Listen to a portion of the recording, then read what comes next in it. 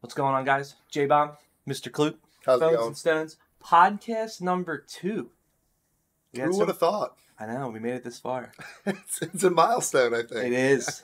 we didn't quit after the first time we did it. Even though we got 100 views, we're still gonna keep going. Yeah, I'm actually pretty happy with that. Um, It's actually I'm more saying than I- comparative. Yeah, it's more than I thought. Yeah. But uh, there's a lot. There's a lot to go over. Um, in business and in the TCG world, I guess. Would you say? I mean, I'd say that they overlap pretty good. I think the. Yeah. I mean, we're just gonna get the elephant in the room out of the way. So, Hasbro. What Hasbro? I feel like they just lost half their staff. Are they even a company? Like, how I does that even happen? They got a lot of employees, but no matter how you splice it, what was it like twelve hundred? 1,100, 1,200 1,200 people? Probably more. That's insane. It's absolutely Is that a quarter of their company? no. no I don't even think close. Like I mean, Hasbro's got to have thousands. Thou- but the thing is, thousands and thousands, but I don't know. Like, what what is there? Like ten thousand, and they lost ten percent of their company. yeah, I mean, it's a percentage. It's definitely not like 0.01. It's, it's a percentage. and it's so crazy. Um, I think Rudy does a good job. Yeah, he's he's on top of it. those things, which I'm Um, happy about because I get to learn more, which is cool. but I think him the the thing that bothers me, and I get it's not like cash, but just knowing that like Cynthia Williams or whatever her name is, she six million dollars a year.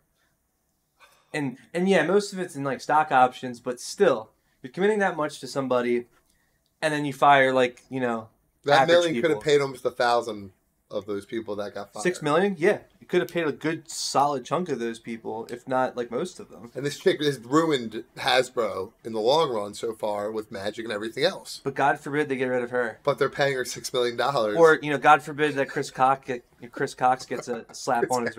You know, Chris Cox gets a slap on his wrist. I said Cox, C O X, Cox. but honestly, he is. he He is, and I know it's like an old joke, but I mean, with a name like that, but you have these people who are just making buku dollars, and then you get the average Joe.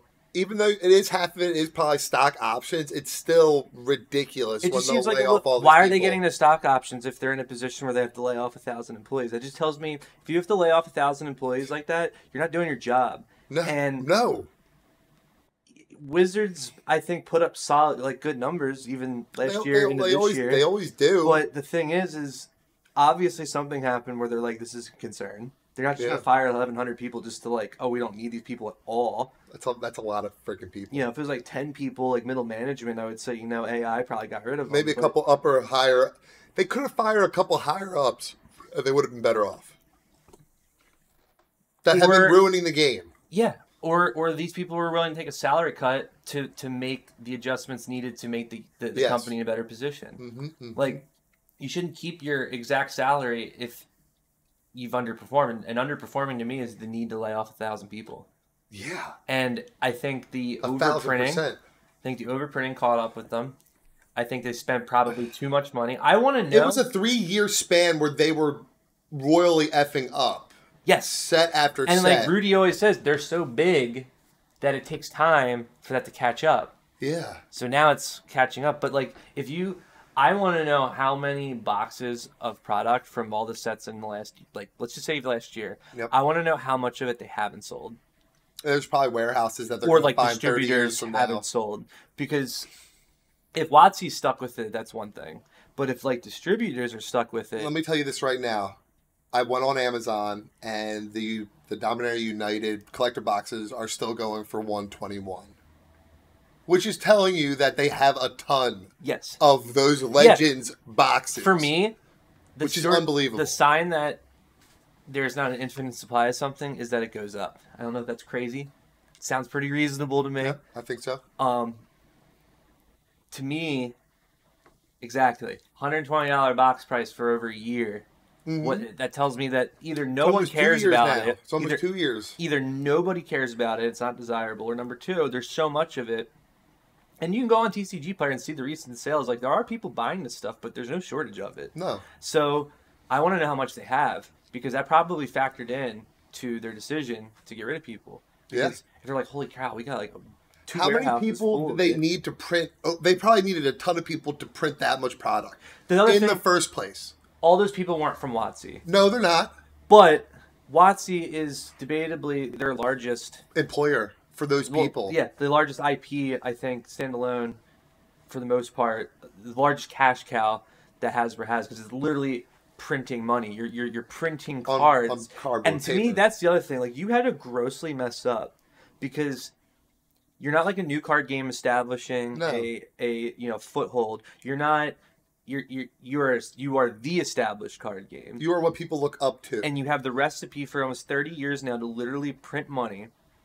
So either you you it's must not, have it's not just a saying to you guys. It's actually what you do. that, that's literally exactly. You so you money. have to have had print so much of this cardboard money that it just like like inflation, like It's Venezuela, reminding me of or like Trump something- and Biden giving out all that money. You're pretty much doing that yeah, it's the same thing. for magic. Exactly, same thing. It's it's that's why I just said it's like Venezuela. They just kept printing money, and now it's worth nothing. And so yeah, you had a money machine, but if you don't ever turn it off, it becomes le- like worth less. Yeah. So if they they have to have a crazy stockpile of magic. That's just And- in, uh, and- how many warehouses? And what's messed up about that is all these sets for the most part still perform well. And Oh, yeah. like they're they're meeting like they're doing good sales, but it's not enough sales because they printed too much. So you're good your well performing products, are doing good, but, just but not they're not doing good because it's in a, it's an unattainable scale. Which Like it is not COVID anymore. People aren't locked in their houses with Yep. crypto money and all this stuff, and they're just so bored they'll buy anything. Like that era is over. and there's more card games now that people Yeah. are more interested in than Magic because they've effed up for like I said two to three years and hurt their credibility when it comes to collector pieces, which I think is the best way to put it.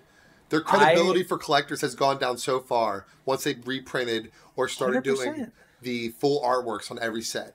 Ultimate Masters had the cool full art. Uh, what was it? The uh, the booster, like the extra pack they had in Ultimate Oh, yeah, Masters. yeah. Full art, and then after that, they reprinted full arts in collector boxes, and then every other There's set. two things to me that marked this downtrend, and neither of them I think were clear at the time. The introduction of master sets. Yep. I think, really screwed things up.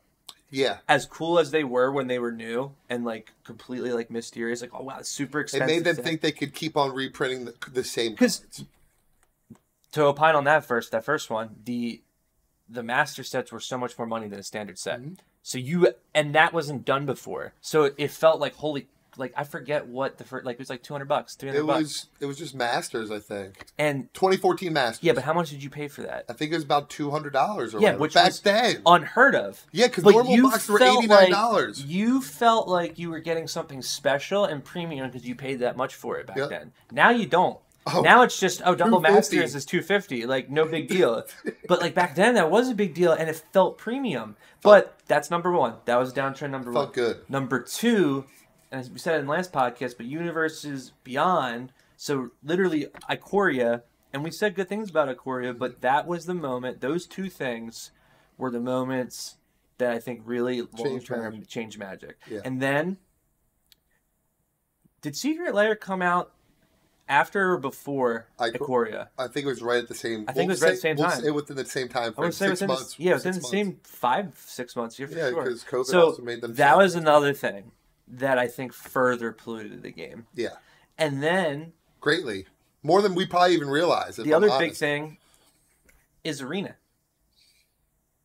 And which in the in hindsight looks awesome.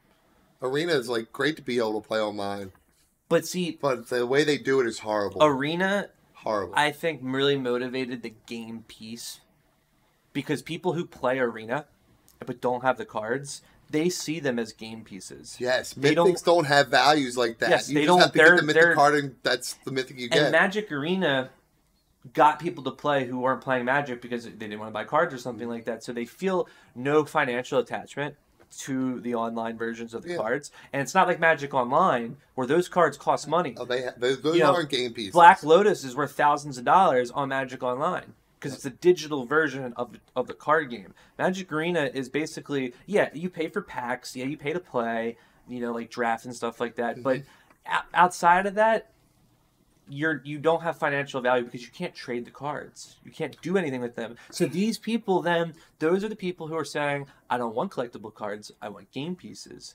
And I mean we were talking about it before we started this. A card game cannot have just game pieces. No, And people think it is. they hope they want it to be People like that. People think it, it needs to be like that. Not but it can't be. No, And that's, I think, why you add all these things together. And like you said, over a three year period, this wasn't something that happened overnight. No. And then you added just distasteful things love sack, Yeah. hot pockets, uh, magic 30. Like, the, like you add, so you make poor decisions for three to five years in, in what felt like at the time, like a good effort. Like Universes Beyond felt sounded good when they talked about it. Secret Lair sounded cool and special when they talked but about who's asking up? Who? Who was asking for Where that? is where is Richard Garfield, the backbone that could be like, you guys, this is a card game. Remember? It- it's like See, there's a balance, and I like Richard Garfield, but my my and I might get some flack for this, but he envisioned the game as something you play in between Dungeons and Dragons match like games, Yeah. or waiting, or you know, just you know, 15 you're gonna kill like like 50, 20 minute game. for him the game was like meant to just be more fun. It was super casual, and I think the game outgrew his vision. Yeah. But then I think I. WotC, after being acquired, see, WotC at its prime, in my opinion, was when Richard Garfield left, but before they were acquired by Hasbro. That that- in, that in between. Was prime. I mean, they're killing it with Pokemon. They're killing it with Magic. They had solid quality cards, and then Those were the good times. and man. then you know Hasbro comes along and they're like, all right, you guys aren't doing great. You're not great. I mean, the game is like. It was losing popularity. in the was. I forget when they acquired them, but they, you know, it wasn't as popular as it was. And you know, we're gonna acquire you. We're gonna give you cash injection. Mm-hmm. You guys can focus on the game, do all this big crazy stuff. We'll fund it. You know, that's how it works. And that worked for a little bit. because they had probably more control than they do now. Of course, that's Yeah, because that's seems like. that's how those things always start off. Hasbro probably didn't expect them to make that much money for them. No, Right. no. And if you also think about it, think about it like this: in the early two thousands, when you were a kid, you had a lot of toys. Yeah, Do kids nowadays have a lot of toys? Like, yeah, like little kids buy toys. Little- little as soon as you get an iPad, as soon as you get a cell phone, No as soon as you get a computer, you don't really care for toys. yeah. So, and there are cooler toys now. You Oh, know, way Nerf guns and Way way cooler cooler toys. But kids are definitely buying less of them. Hmm. You know, I had a I had a toy chest. That had hundreds of toys Yeah. that were just fucking piled to the top. You know, action figures. You know, whatever, dumb little Yeah. whatever.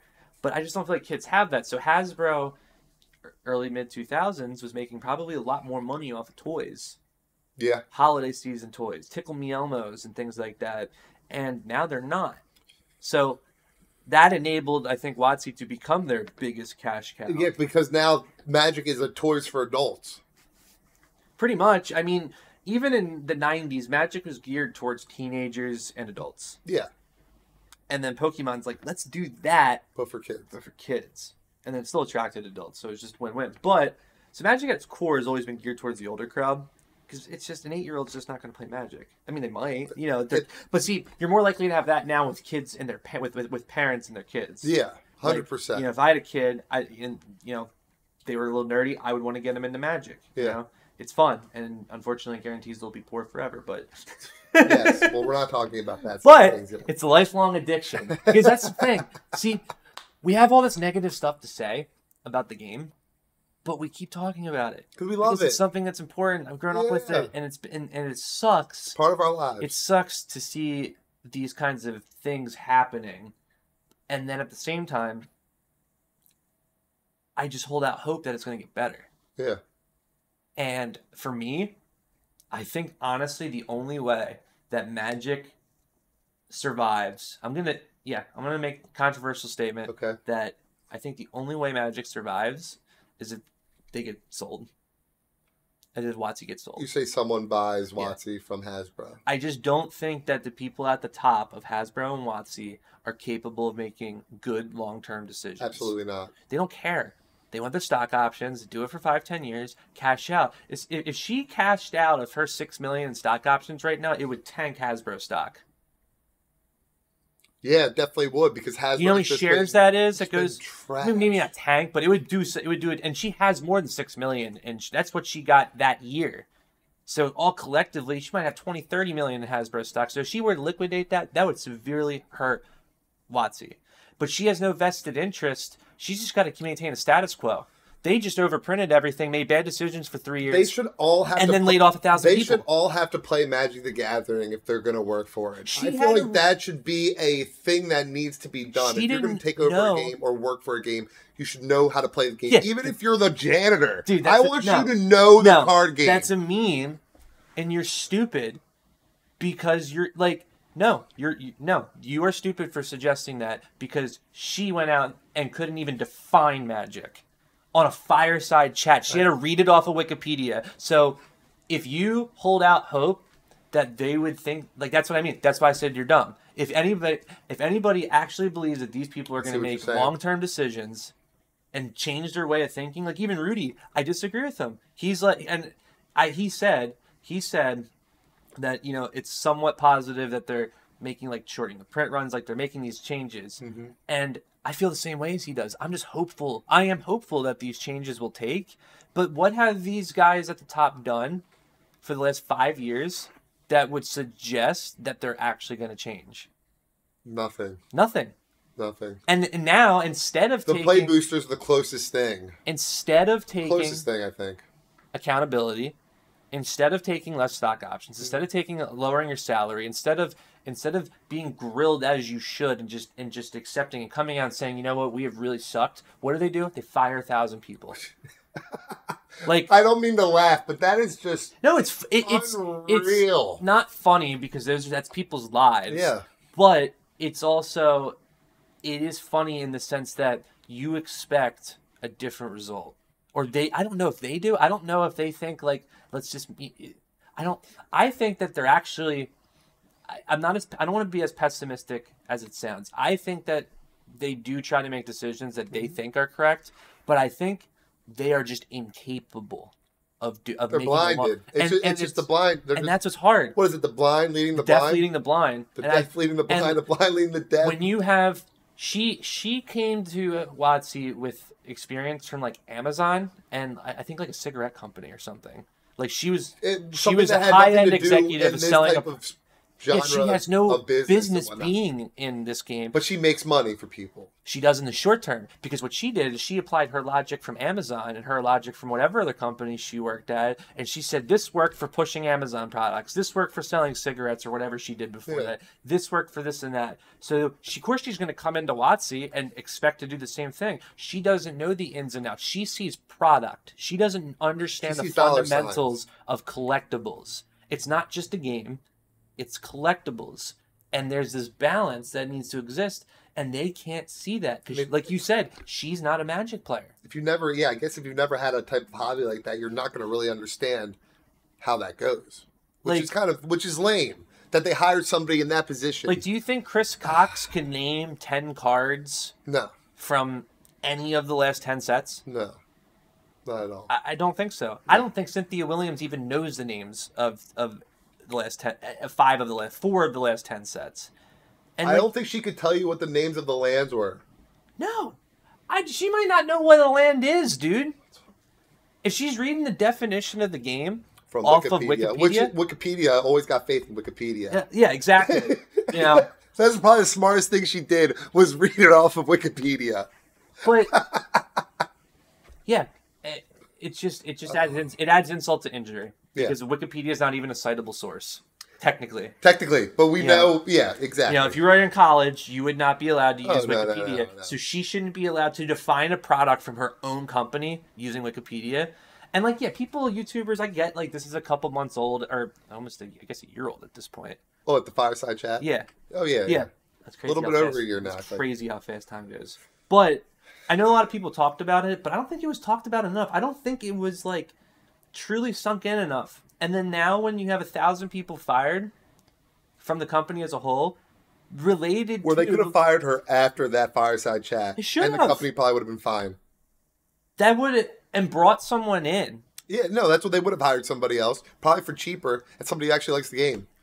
on it, and you know, I said that Magic outgrew Richard Garfield's vision.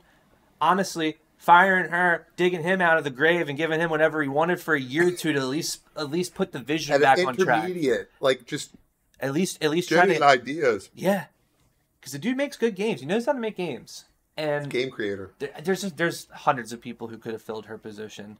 I mean, like there's there's a lot of people who would Yeah. have at least known about the game. I mean, I genuinely think like they just assumed her business acumen Which would ridiculous. carry her. Which is ridiculous. And it will see. Here's the thing, though. It would in any other product.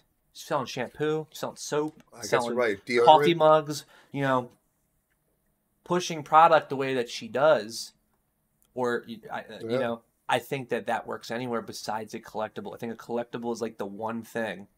And it's like the, the lore behind it and the cards are so different it's like And you can't just push it but one set one one magic thing isn't just one product it's a bunch of different cards that create all one interconnect in one product. product. And that's the other thing. if to keep on making them and keep on making new ideas without time for them to marinate it's going to be rushed and that's just going to be You're working. bad taste You're working and pushing something that means a lot to people. a lot That people grew for up over with. 30 years That people have Just grown up with. So don't be kathy what is it from disney world don't be kathy what is her um, a Kennedy. Kathy Kennedy. she ruined Star Wars. People love Star Wars for how long? 30, 40 plus years when it came out. And then they came out with the new shit. Yeah. And it all went downhill. And then, you know, you get a taste of something. You know, put a chick in it, make her gay. You know? Which Dude. is just, you know, you get a taste of that and you're like, holy cow, that must have been the reason why everyone went to go see this movie. That means every other movie now needs to have a chick in it who's gay or a, a person of color, just just arbitrarily because. And then it turns out that that doesn't necessarily guarantee you a good movie. Mm-hmm. And when you mess with something, it's one thing when you make a new IP, you know, its own standalone thing. It's one thing if you do that. Like, you know, you take like something like the Umbrella Academy. Like all those people, the hodgepodge of all the different cultures I in that show. that quite a bit. That show, it works because it was just part of the show. It And, felt and natural. It a, and it was a it was a written book, a written comic. But you take you take Snow White and have her played by you know I hate to say like someone who's not Latino. Yeah, it, it- there's nothing wrong with the fact that she's Latino. It's just she doesn't fit the person. no, no, you like like role. you've seen, you've seen the doesn't fit- memes. Like you wouldn't have like uh, Kevin Costner play like uh, Obama or something like that. No. It just wouldn't. It just wouldn't. Would you have it wouldn't make sense. Keanu like yeah? Would you have Keanu Reeves play Obama? Malcolm X? No, yeah, I wouldn't. No, you wouldn't, or or or something like that. It would be just seen as just weird. I, I wouldn't. No, so you apply that to, to to magic. It's the same thing. It's just they they think they have this formula figured out, and they just exploit it. And then only when it totally backfires on them do they consider changing. No one in the room is like, you know what, this isn't going to work forever, and we should have a long term plan. Fire him. You're one of the a thousand. Like that's, and I just, I don't know. And when you combine it, see, back in the day, Wizards could mess up. Your only competition was Yu-Gi-Oh! Magic. You didn't have- Now you you, have to worry have all this competition now. Oh, so when you mess up, One Piece, sorcery. It's when you mess flesh up, blood, it's people It's, leave it's insane. because there's a place to go. Before it's like, where are you going to go? What game are you gonna play They now? twist their nipples and like, oh, where are you going? you ain't going anywhere. You ain't doing anything. You're staying right here. You're gonna buy this set and be miserable. But now there's Flesh and Blood, there's Sorcery, Lorcana, One Piece, all these games now that you can engage in. Jesse, you hear that? It's the sound of the subscri- subscribe button, so make sure to click it to shut it up.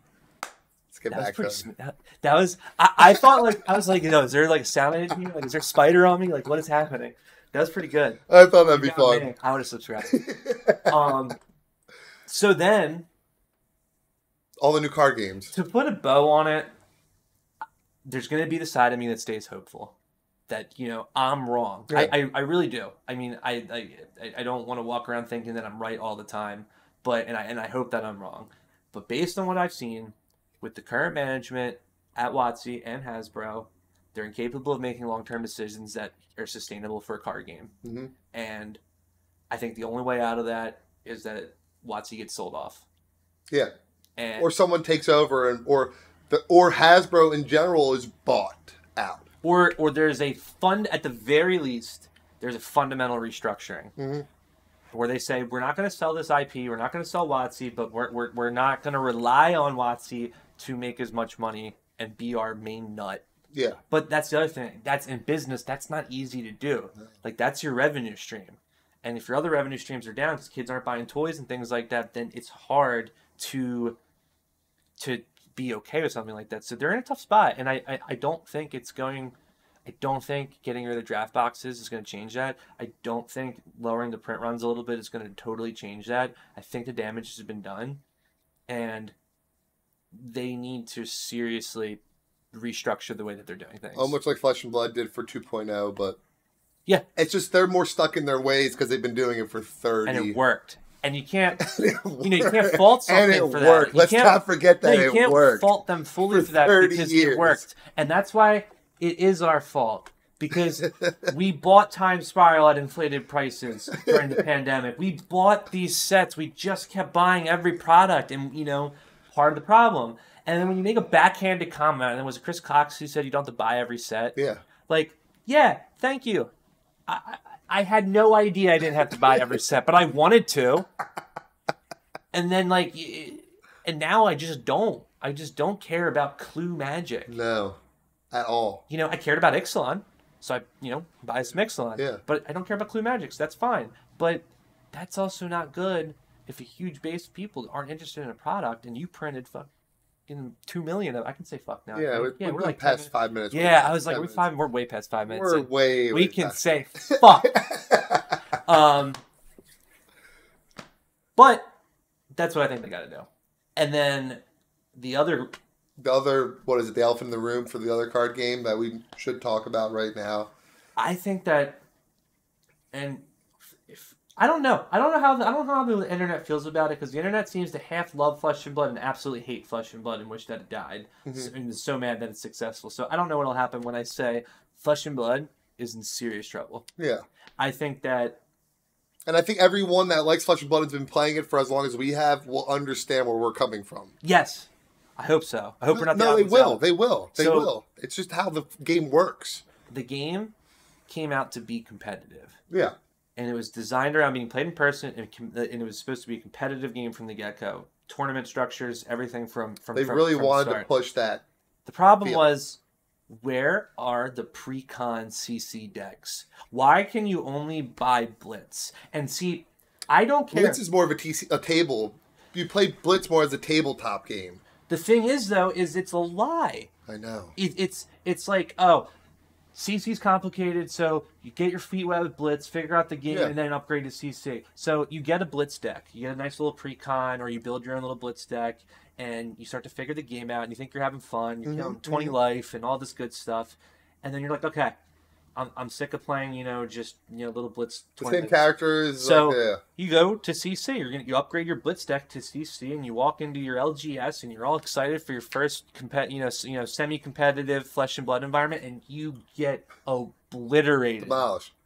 That's what happens every time. Mhm. I mean, it happened to us. Happened to it hap- and I feel like having Blitz as like this early this is what you do to get started, get your feet wet kind of thing. I said to you that I hated Blitz. I- from I- from start. You were like, let's just play with the Blitz decks. And I was like, no, there's no point. I only want to play CC.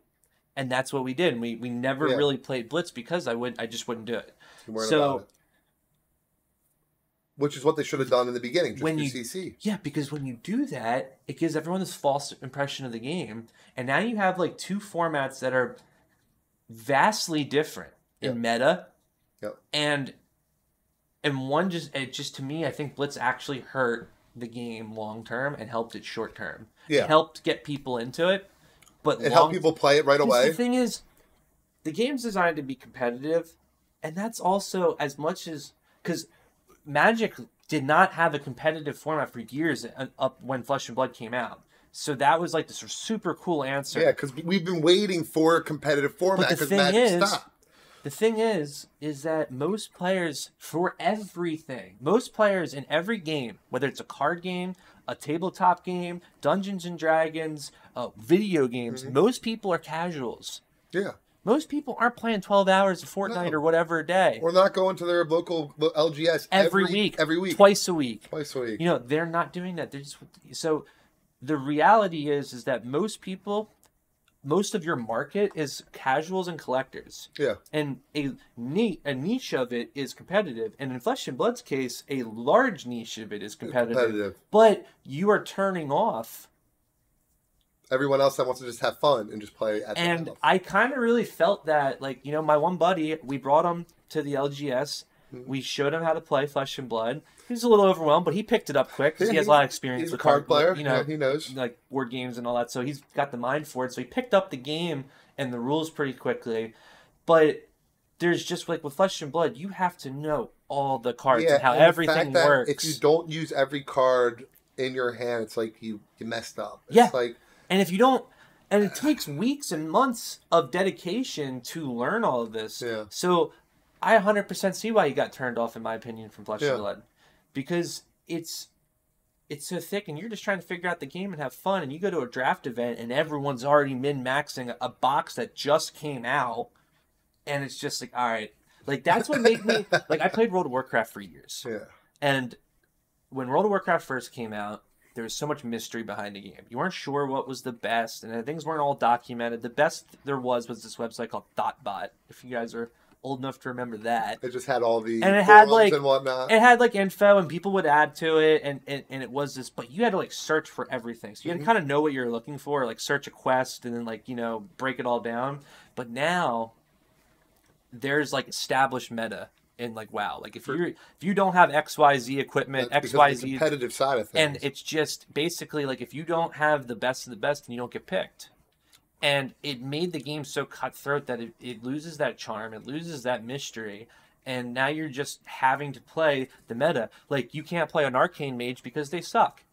Or fire mage. You can't play fire mage because they And suck. what- So you have to play a frost mage or you have to play an arcane mage. But what if you wanted to play a fire mage? Yeah. Like that's what you wanted to enjoy you like that ability. and just because it does 2000 less damage per second or something you know small amount like you know we're talking percentages off the, the meta Yeah. you won't get picked because that extra 3% extra damage will that arcane kill does quicker. By, by by a tenth of a second so that mentality gets is super i think prevalent in flesh and blood which I think they probably did anticipate. It's just And no, they did, and they tried to correct it with Living, Living Legend. They tried to make it so it rotates out and the meta changes consistent. it it has and the meta does change, but here's the thing: these competitive players, they will buy a five hundred dollar deck, and then when that led that that that that hero goes into Living Legend, Yeah. they'll buy another five hundred dollar deck. So they're already committed,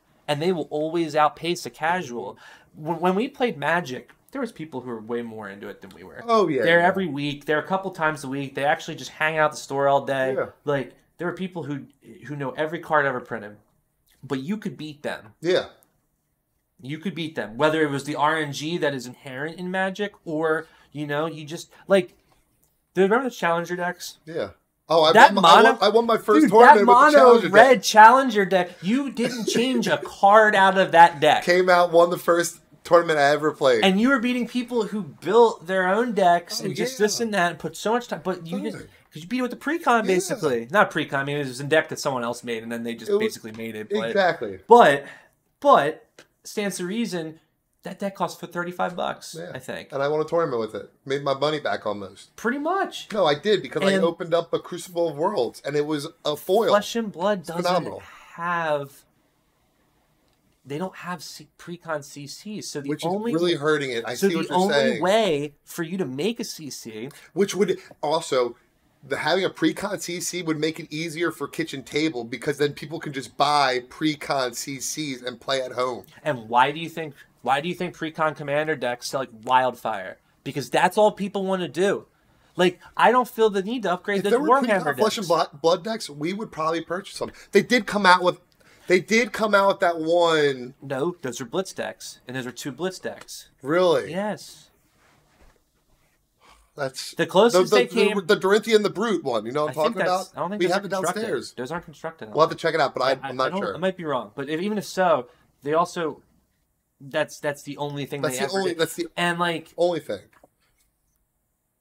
I see what you're saying. I just- it's it- sad. it- It is. It's a It's huge missed opportunity, and it's alienating casual players. And but that's the problem. See, they can't make the game itself more casual because they'll alienate your your competitive players. And a lot of these guys are whales. Mhm. You know, They um, buy a lot of product. so that's a problem, and that's why I think that they've had this talk about this PVE format, and I think that's the solution. I really do. I thought the way Especially I after said playing that, sorcery, and how sorcery has a lot of PVE elements in it. Mhm. I feel like, and like you said about having like a boss at an LGS, think about this, you guys. If you're playing Flesh and Blood and you want to go to your game store, every week each game store has an, their own boss that Flesh and Blood gives them that has you have to battle, and maybe you get a huge prize for beating it. But this boss is like you need a team of eight. You guys have to be able to have the best decks you could ever make just to beat this guy in his life. He might have OP abilities that you've never heard of, but it's Yeah. because of the player versus environment, and it'd be so I feel like the intriguing. LGS is like a raid. And like, no, it'd be the dungeon master. The LGS is the dungeon master. That's where you can incorporate the Dungeons and Dragon feel into Flesh and Blood. and that could bring casuals into the game. I would, I would go to try that Oh, 100 percent. because it could be a shorter campaign. It could maybe only be like an hour and a half long, depending on An hour how, and a half fight or two hour fight. which I think would be so cool. Everyone gets a chance. Yeah. There's so much you can do with PVE, and I mean that is why I'm so into sorcery because the, environment the, is the game very board and all of that. it's and- essential to this and game. And like you know how we're talking about the, the boulder card like how it exists in the- Wildfire, like wild exactly they're so cool the bearing effect, you bearing under the ground. That's part of the player versus And- environment. it's a it's see flesh and blood the problem is that they talked about this pve format and said yeah it might be coming somewhat soon or something like Mhm. that that was over a year ago because I think they were they were really overwhelmed with competitive because it's doing good, and, And- that's what they they put their eggs into that basket. but now that's and now that sorcery has come out and now like sorcery i think is even better positioned for a pve like format Oh, because yeah. it's just it Oh, yeah. works with the board already there's already a 100%. board so now flesh and blood comes out with the pve format it's going to be like is this a response to sorcery like what Mhm. is you know it would have felt better if the way it the dungeon, ago. the way I'm describing it as a dungeon master with LGS would be different. it would but That would be ridiculous. it would you'd have to have a way for you to play that at home you'd have to have a way Well, yeah, you would. and ha- you could totally no do that. online. There would be an online character that you have we to should beat. do that You would log into your account for Flesh and Blood and put your squad together to face him online type deal. You would have to like it would be so cool. honestly i would i would like to think about how you would do that like that'd be a fun thing to figure out and like edh is made by fans so That's- like yeah. you know we could we could make that format Yeah, yeah, yeah. you guys could make that format and then flesh and blood can take the the, the commander out and acknowledge it Mhm. and be like okay you guys really like this format made by fans like all right we'll we'll support it The thing is, the I I don't want to go too much into it because I'm just thinking about it. But like, there'd be like innate abilities on that creature you have to fight, and maybe he'd get a random turn of what his abilities work. For like, if you attack him, then he can roll a dice and he can do a defense move on it. It could be random from his arsenal of defenses. Yeah. You know Or- what I mean? and like world of warcraft raids like bosses have phases the monster won't be its own deck. It will be a monster that you have to fa- Like, face that has a bunch of arsenal weapons. Imagine you had a boss or a card, like like you had a hero, and he has like 80 life, Mm-hmm. and then when he gets down to like 60 life, he transforms into another version of the card, yeah. and then when he gets down to like 30 life, he Yeah. transforms into another, and then he gets down to like 10 life. And maybe those forms get more powerful. that's and what I'm saying, and that's how like that's how like World of Warcraft and like you know any A lot of games are, yeah. Mm-hmm. raid you know raids work. But that's I think Flesh and Blood's the only game that could do that because you're your own hero. You have your equipment. You have your. It's an RPG already. yes, That's it's already ready made. It's already ready made. ready- they ready just have to know how to make the dungeon master or the dungeon, like the whatever the the person or the creature that needs to be killed is strong enough and works works well with the environment that is Flesh and Blood. already. And here's the other thing, and maybe I should have let off with this, because a lot of people might scoff at this conversation, like, no, Flesh and Blood, it's plateauing. And if it's you don't say that it's plateauing, you're lying to yourself. Oh, I, I'm on the I'm on the Discord. I'm on the I'm on multiple Reddit pages for it. that's also You due know, to the Living Legend stuff because those people- people are losing their heroes and like it's people are saying that LGSs are having are, are stopping doing events or doing less events less people are coming and everyone's argument right now is, it's it's christmas time it this always happens with flesh and blood during the winter time and it's like that might have been true a year ago might have been true two years or whatever i don't think it's true this time i think that all of the people who left magic to play competitive flesh and blood have already done so i think all the people who wanted to try flesh and blood who had never played the card game or, or, or whatever Yeah.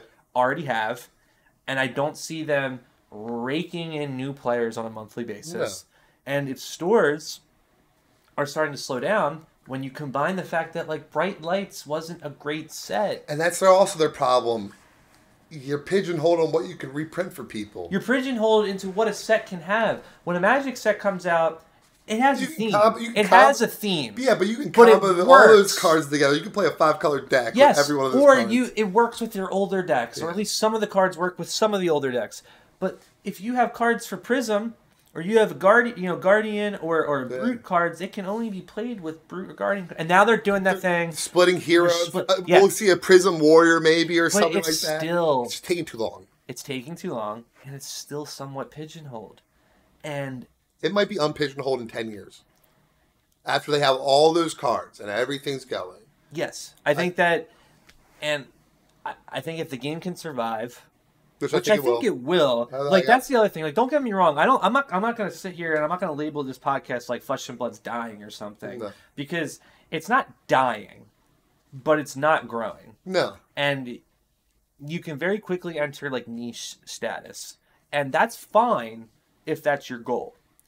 And you know, like everyone's losing their mind right now about the One Piece game. Yeah. And like I was telling you before we started this, I I'm not a hater against it. It looks fun. We haven't personally gotten Haven't to play it yet. yet. But long term, I see that game plateauing because right now, you know, there's only so many One Piece fans out there. Yeah. And because there's only so many One Piece fans, the game will not appeal to people who aren't One Piece fans. I I, I, don't care what people are saying. Even if it's a fun game. Yeah, Maybe a small minority of people if you've never heard of One Piece or have read it or seen it, you're probably not going to care there, about the game. there will be some people, very few though, yeah. and there they'll But be if you are interested in any of that, you're already a fan, you probably already been playing it or or, or or yeah, or at least collecting it or Yeah. something. So you have like this kind of limited scope, even if it is large. One Piece is freaking huge. It's sold over 550 million copies. So it has enough where it doesn't really need anybody But- new. The thing is, is that every card has to exist in the One Piece universe, which, Which- eventually you kind of get into like Pokemon syndrome. Like it's like the Charizard. You can't print Charizard in every set or it won't be worth as much. No, and you can only really have so many special Charizards. And Pokemon, I think's done a really good job at having like you know, they only have I don't know it's like twelve hundred Pokemon or I forget what it's at now, but Probably 1100 or something, but which is insane. there's a solid amount. But they've done a good job at balancing what gets reprinted. you know how often a card shows up, and it works. Mhm. But like, I don't know if I don't know if One Piece is going to be able to do that because it's there's only so many times you can reprint Luffy. There's only so many times you can reprint some of the villains or- Yeah. or whatever have you, or the items, Mhm. you know, Demon's Fruit or whatever it is. Yep. So, you know, there's only so much you can do with that. So eventually you're going to start to plateau. And that's fine because just like Dragon Ball, Yeah, you can only reprint them with so many times. Yeah. Same. and and they do it a lot. I mean, there's a thousand Goku cards. And But- Disney Lorcana is also going to be in the same pigeonhole spot. But the thing is, is like it's okay because the company that runs Dragon Ball, they don't need to make money and just be purely profitable, and their, their to the entire revenue game. is Due to to the the card card game. game. Yeah. It's an extra product that makes them some money. Mhm. That it contributes to all of their other products, which also make them money. Whereas Flesh and Blood, for example, Can that's all. LSS. That's all LSS does yeah. you know, right now, Sorcery, I, I don't know what the company name, honestly. Eric. Yeah, Eric Curiosa. you know, right now, his only thing is, and he actually he worked on Path of Exile.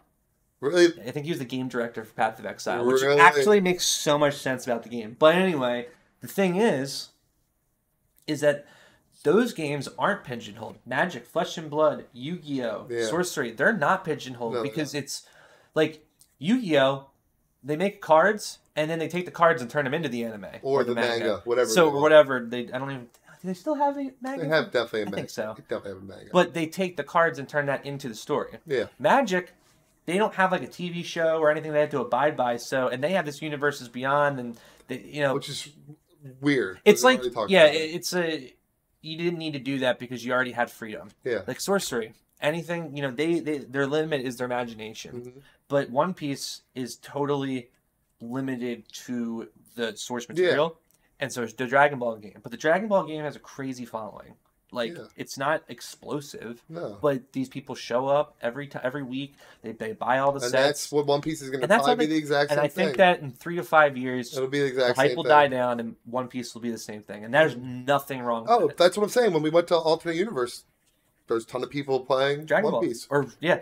And What? I was actually impressed how quickly One Piece is ripping. which is insane. Which- faster than any other game I think we've seen. And that's, excuse me, that's also, I think, a little concerning Yeah. because, you know, wildfire strikes and it goes out just as fast. yeah, I- but it's just the, the backbone of One Piece is just too grand. And that's why I think it's going to be successful. it's just as famous as Dragon Ball. And you know I've- what I mean? It's up there with that, like Dragon Ball and Yu Gi Oh. We're talking about the big it's a three. good like, and it, it's a good game. So it has Yeah. that going for it. People are enjoying in it, my yeah. opinion, from what I've seen about One Piece game, it's way less convoluted than Dragon Ball's game is.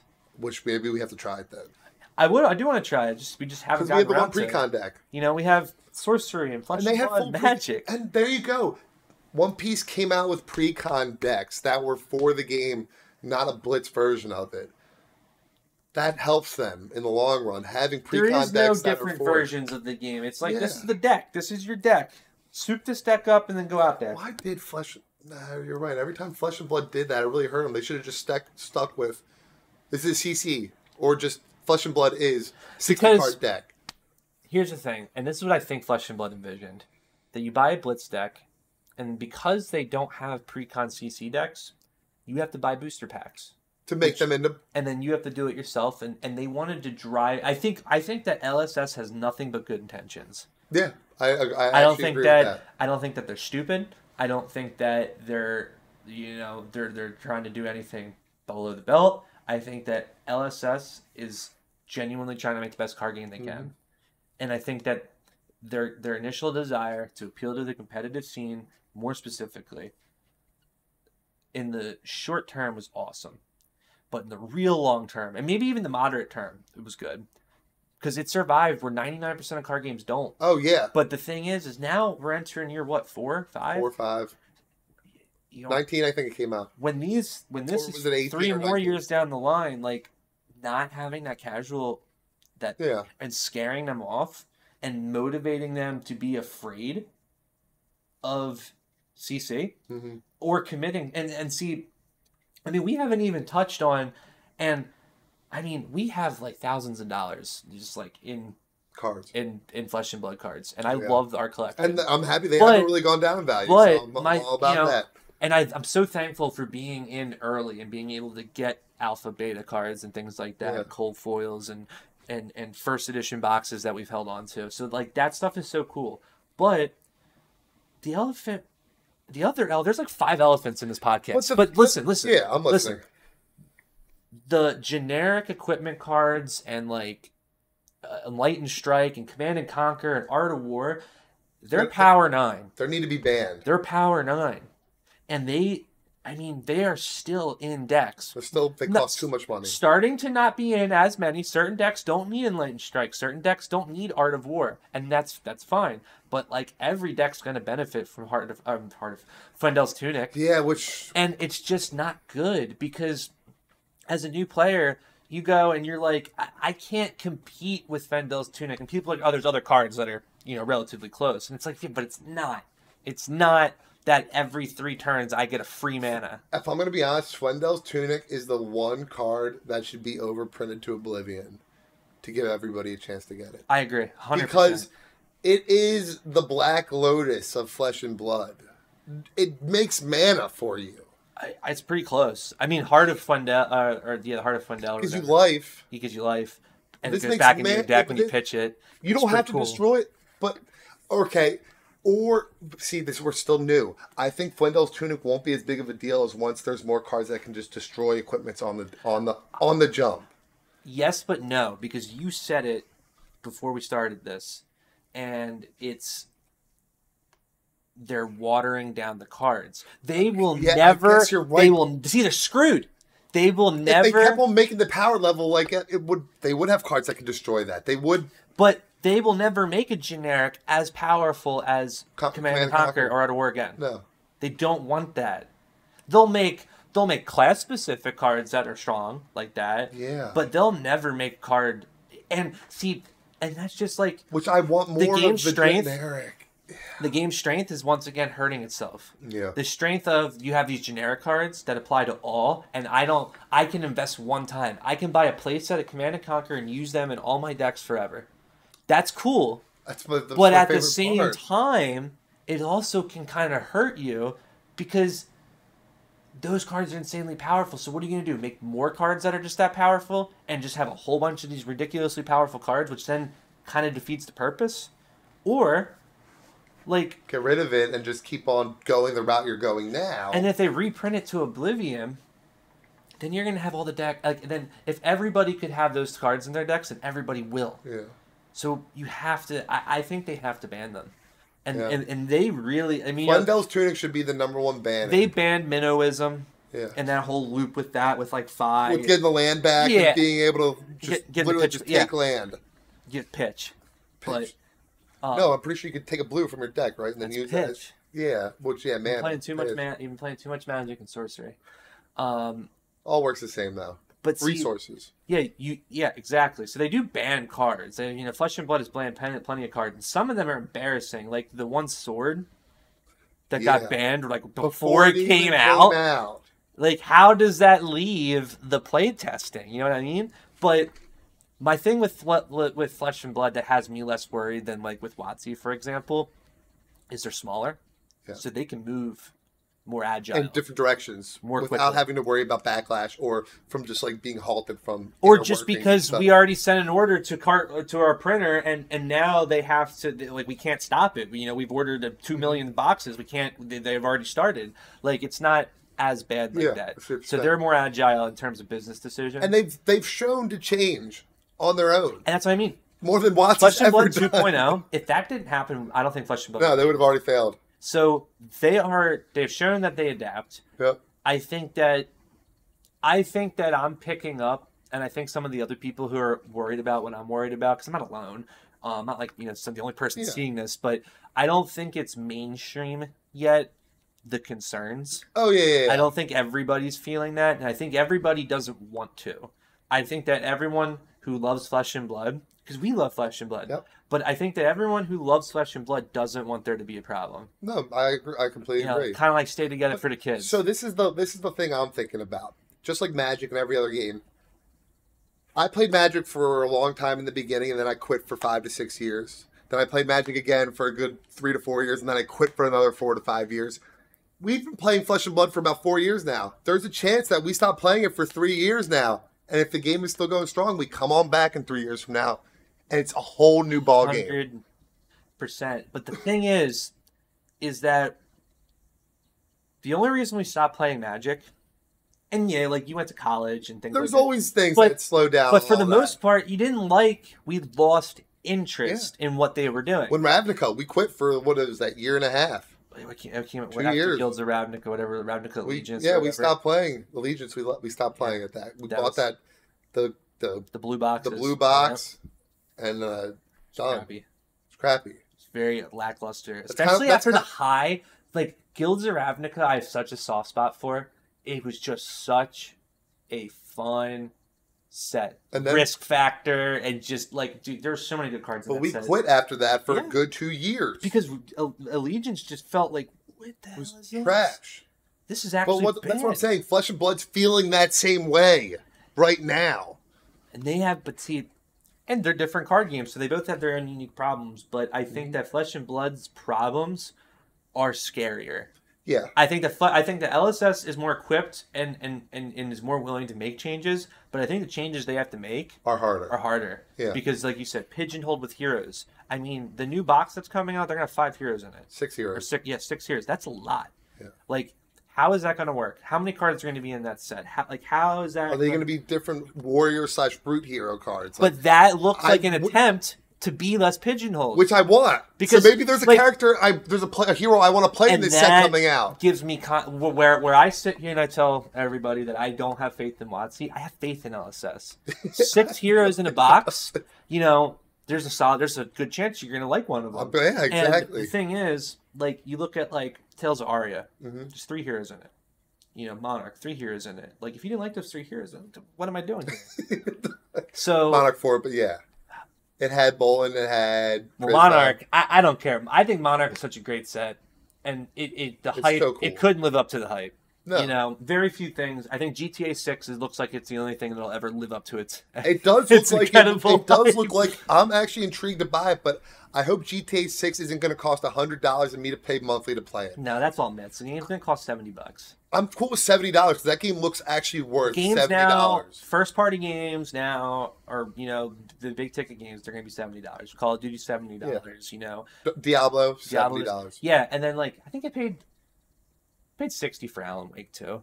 Great game, great game. Isn't that older though? No, Alan Wake 2 just came out, like, back in October. It did. Yeah, the new one.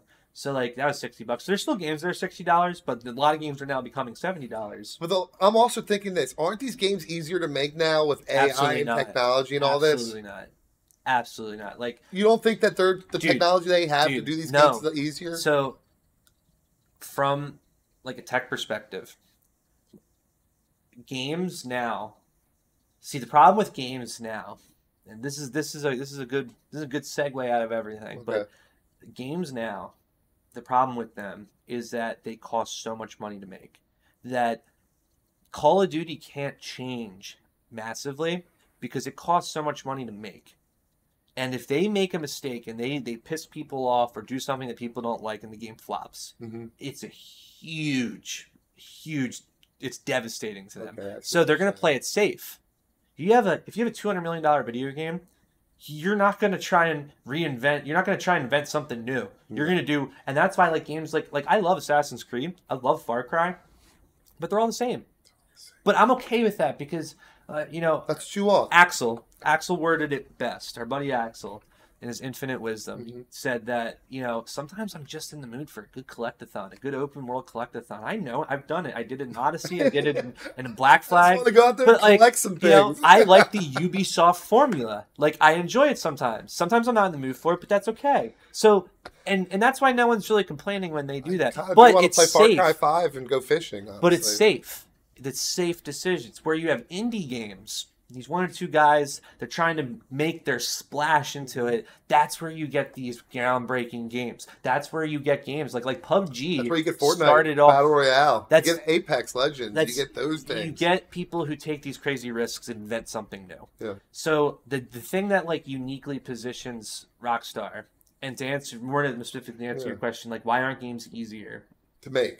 Because so much more logic goes into it. Like AI is not out there writing code Yeah. like from scratch. Like you still ever and and to make these way more complicated systems, wind, fog, rain. I mean, you look That was never even you implemented look at the trailer the to. GTA. Phenomenal. The the wires on the telephone poles move like individually. Like that's never been done. That and like someone pointed out that detail. I was like, "I- holy cow! Like I, that's so small. I've never noticed that. like winds blowing. But you know how much code and testing it takes to make those wires move in the wind like that realistically? That's just a tiny little sub feature. Everything, everything that happens in a video game has a line of code or thousands or tens of thousands of lines of code to make it possible. So the more deep that a game gets, the works more complicated it gets. And that's why, see, Call of Duty, Activision's breathing down their throat Yep. and going, you got to get this out every year. Go. We have investors to answer to. Rockstar, Bethesda, they're the two best game companies in the world, in my opinion, because they don't give a fuck. they don't give a fuck about time.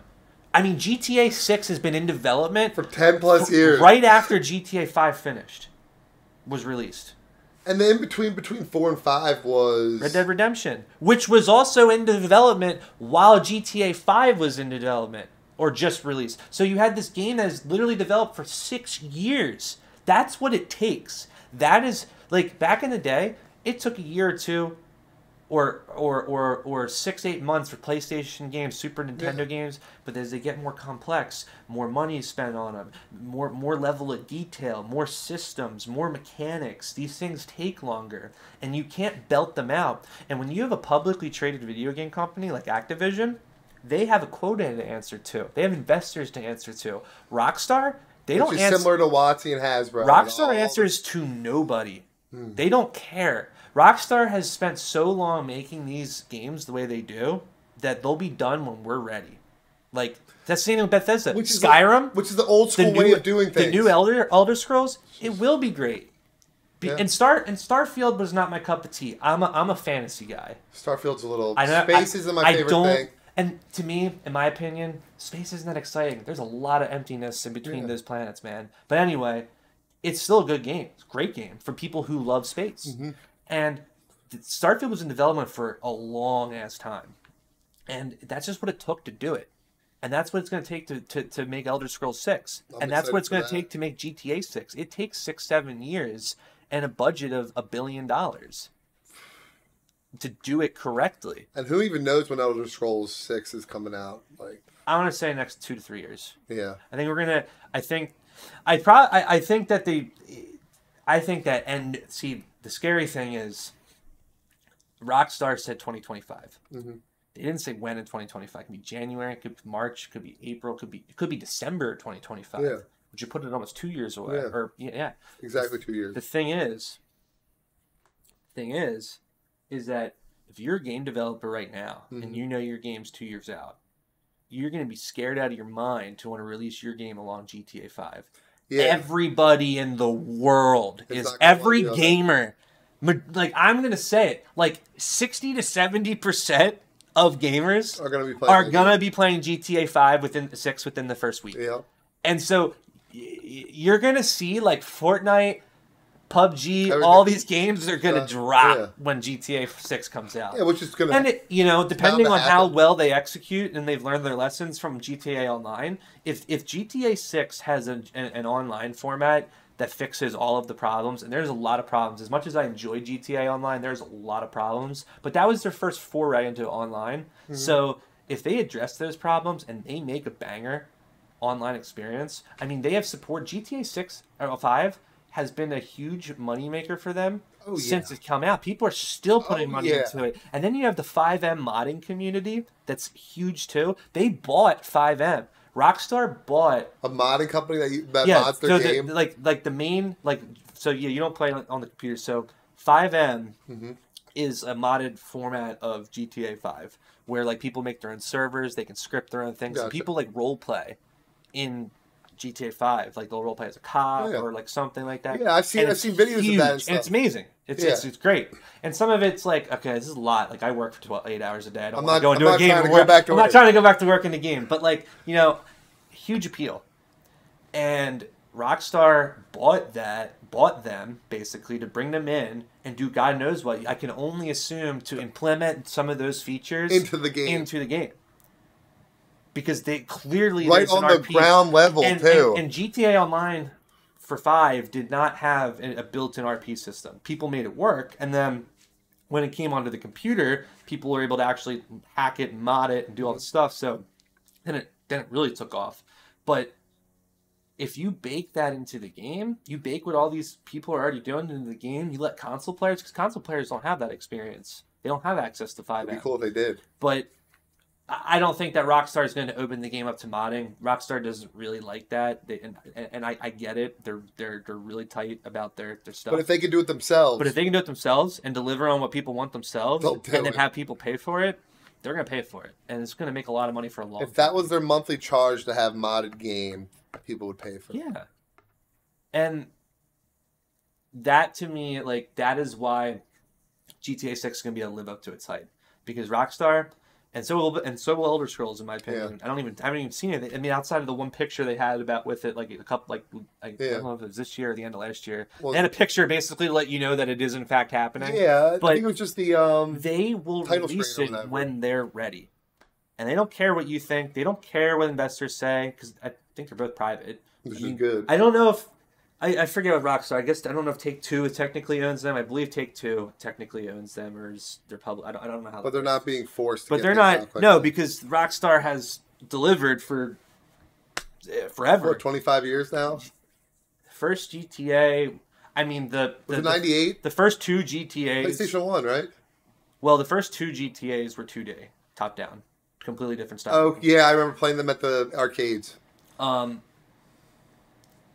so those don't really count. The the the GTA craze really started when three came out. Yeah, That was the first time you had this 3D world where you could so commit crime. good. You could run people over. You could do all this stuff that you just really shouldn't do. And Oh. then San and, and Vice City came out, and then San Andreas made it go nuclear. Okay, so I was on the forefront of three because that's what I played in the beginning. yeah, for most people, and for all intents and purposes, GTA really, 3 is GTA the 3 is the first GTA.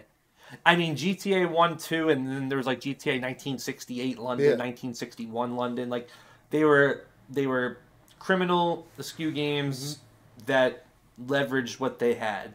I, I, I don't think GTA 3 would have done well on the PlayStation. It couldn't be done on the PlayStation. So, like, as soon as Rockstar was able to go 3D, They did. They did. and They never looked back. And I mean, GTA 4 debatably has the best story out of all the GTA games. I personally really like 5, but Niko Bellic is the coolest character of all the Uh, GTA n- number four. in my opinion. Yeah. Um, I think the world in GTA 5 is so much better. Like Liberty City, it's just gray. And when you go back and play GTA 4, it just feels really gray. But it's also um, it's a great story. And it's GTA 5's in New York, right? no GTA 5 is in California. No, you had it mixed up. GTA 4 is in Liberty City is New York City. That's the best one. and and and and Los Santos and San Andreas is, Is California. Five. And and and so and Mi- and and Vice City Yeah. is Miami, and GTA Six is Vice City, which is gonna be three crazy. was. three was Liberty City. me say- It went, Yeah. went back to New York. Started in New York. Four went back to New York. Yeah. So like, there's only been three real unique locations, which is fine. Um, We're going back to Miami, baby. I, I'm so excited. I'm so but I honestly like. I know I just talked about it for like another five or ten minutes, but my thing is, is like, I don't really want to talk too much about GTA Six because it just hurts me so bad Yeah, knowing it could be two years, it could be two years away. It's just yeah. Um, Could be a full two years away. I know. I think we covered. Yeah. I we covered a good bit. I think it's we good- fun here today, It's a good guys. I like we're I- I wrapping up a this. Blues Clues episode. Hey, dude, I'm cool with I learned a lot I need today. to crack another drink, so Um, yeah, let's put a bow on this. He already said it. If you guys like it, like and subscribe. It, it really does help. It makes feel like we're not totally wasting our time. But you know what? Even if we are, I this just like is fun. I just it's fun. It's always fun. If there's something you guys want to talk about, if you guys you know want to bring, you know, let us know in the comments below. Yeah, whatever. You know, If there's any topics Feedback. you want us to cover, Feedback. for sure. That's feedback. yeah. Any movies, TV shows that you're interested in? Godzilla. Uh, Godzilla minus one's the best. Go see it. I'm just gonna say that right now. It's amazing. Better than Oppenheimer. I said it now. I don't like that. All right, let's shut it down. Let's shut it down. We're out of here. Shut it down.